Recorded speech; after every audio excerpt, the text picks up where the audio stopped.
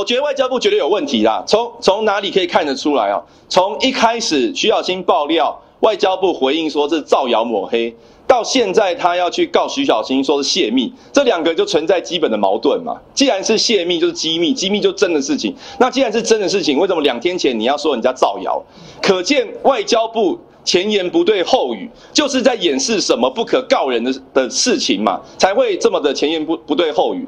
那既然你有问题，你又把这个过程把它变成密件，可见你就是透过把它变成。密件的过程当中去掩饰你的非法行为嘛？这就好比说，你把蔡英文的论文变成密件，你把疫苗采购合约变成密件一样，里面就是有不可告人的地方，你才要把它变成密件嘛。所以徐小新作为一个立法委员啊，对于政府使用预算提出合法监督，更何况这是一个显见有问题的案子，而且价而且钱非常高，是三亿元，所以我不觉得徐小新这样做有什么问题。那外交部。好，这这这个也是越来越威权哦。第一个，当徐小青提出质疑的时候，一开始是先用人格抹杀啊，骂他恶殖民代，说他造谣抹黑。接下来用法律的手段要告他，让他上法院啊，企图造造成寒蝉效应。所以，我们现在行政机关是如此的威权吗？只要民意机关提出质疑，全部都告你，告到法院，大家法院上讲吗？那我就问他，为什么国会议员？会被赋予言论免责权？为什么国会议员会被赋予监督的权利？不就是要把这些行政机关做不好的地方把它揪出来吗？但是当揪出来的时候，又要被告，又要被弄到法院上面，变得很麻烦。那这是一个正常民主国家应该有的处理方式吗？所以。外交部啊，自己错了就承认啊，把事情讲清楚了，做那么多小动作啊，反而会让大家觉得你心虚啊，会让大家觉得你走向威权，非常可耻而已。徐小青今天要被外交部告这件事情，那难道我们所谓的这个金流都不能查吗？那以后立委像谁还敢查这民这个政府的金流？那尤其这个我们给的钱，其中有这个所谓的呃将近台币一亿是要买台湾的医材，那买台湾的医材，我们不需要公开招标？其实今天哈，外交部要去按铃申告控告徐巧芯委员，我觉得这真的就显示外交部这个嗯嚣张跋扈的一面。那事实上，这笔虽然是一个秘密的预算，但是呢，终究是来自于我们纳税的人的钱。何况这笔预算一共是一千万美金，那么这里面呢，也牵涉到你的金流流向何处，还有你要回来去采购台湾的医疗设备的时候，这个也应该公开透明。应该要接受检验。那么，如果外交部对于立委去呃质疑或者要追查这些金流，还有它相关的策略，那么立刻就用。这个提告的方式，那我想请问一下，外交部你在怕什么？外交部你想要隐藏什么？你不说都是可以公开透明的吗？如果公开透明，你为什么要藏着掖着呢？那我觉得外交部这种态度啊，极为傲慢。那事实上，大家呃应该也还记得，外交部也不是第一次告立法委员呢，他以前还报告过曾明忠委员，还有一堆呃这个在野党的立委，所以外交部根本是食髓知味。但是不要。忘记哦，其实吴钊燮也是即将卸任，所以吴钊燮根本不在乎外交部他在立法院、在府会之间应该要维持一定的和谐。而且我觉得最糟糕的事情，其实吴钊燮的态度，事实上就是呃外交部处处充满了黑箱，而不愿意打开。吴钊燮提告徐小新，是不是来内部也发生不满？啦，真的是莫名其妙。呃，就说呃，对于立委在执行他的职权的时候，那么嗯，其实呃，我们这些行政部门，他们应该是尽量的来做说明。我刚才讲了，如果呃外交部说你自己是公开透明，是站得住的话，你在怕什么？你干嘛一定要去提告一个立法委员？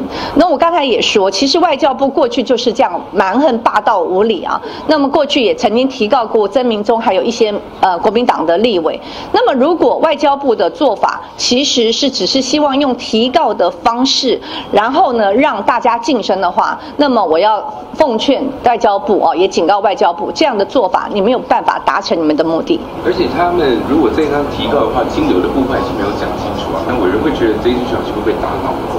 呃，我觉得外交部就是不愿意明白的哦，清楚的去交代金流，才用这样的方式来转移焦点。大家想想看看呢，就说呃，今天外交部用这样的一个大动作方式提告也好，或者吴钊燮还去上广播来。那个痛骂徐巧芯，或者在他们的官方脸书，然后用这种侧翼的方式去痛骂一个立法委员，用这样的方式就是完全转移焦点，那大家就不会再去注意到那整个我们援助乌克兰到底我们的管道是什么，途径是什么，交金流是什么，那么全部都集中在他们怎么对付徐巧芯，所以我觉得今天外交部根本就是声东击西，想要逃避问题而已。对于徐巧芯委员的案件，我们再次强调。徐小新委员从这几天讲得非常清楚，他所拿出来的案件全部都有依照相关的保密协议，把相关的关键资讯给遮起来。现在反而是外交部的说法一变再变，一下子一开始讲说全程公开透明，百分之百公开透明，一下子又说徐小新泄密。如果说徐巧芯真的泄密的话，就代表他们过去根本没有百分百的公开透明，确实有密件存在。如果徐巧芯泄密的话，就代表密件属实。所以哪一个才是真正的外交部？哪一个才是真正的外交部的说法？还有最重要的是，外交部现在动用所有的力量，连包括今天有平面媒体直接用头版头来去攻击徐巧芯。有需要用这样铺天盖地的做法解决不了问题，就解决提出问题的人，这就是现在的民进党政府吗？事出反常必有妖，我还是再一次强调，行政部门什么时候看到那么的嚣张傲慢的气焰跟态度？针对一个立法委员铺天盖地的追杀，是不是徐小新戳到了什么马蜂窝？是不是徐小新戳到了什么漏洞，要让行政部门铺天盖地的持续抹黑？所以在这一点，我们党团还是捍卫每一个党团委员的权益，并且要求行政部门公开说明清楚，国人的纳税钱，任何一个立法委员都有资格强力的监督捍卫，因为每一分每一笔都是国民的纳税钱。早安好，我是外交部那跟纽约法律司的董事长侯毅。那我想说，在我案情申报之前，做个简短的声明。那我现在就开始进行这个这段声明。对，没问题哈，OK。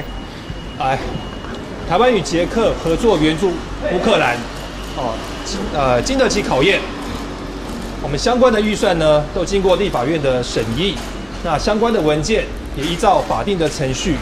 送立法院查照，本案外交部函送立法院查照，以及立法院的关系文书都列为密等。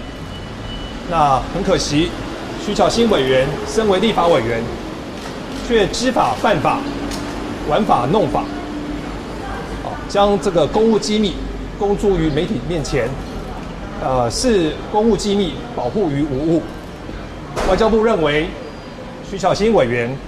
违反刑法第一百三十二条第一项公务员泄露国防机密罪，因此今天来到台北地检署告发徐委员，谢谢各位。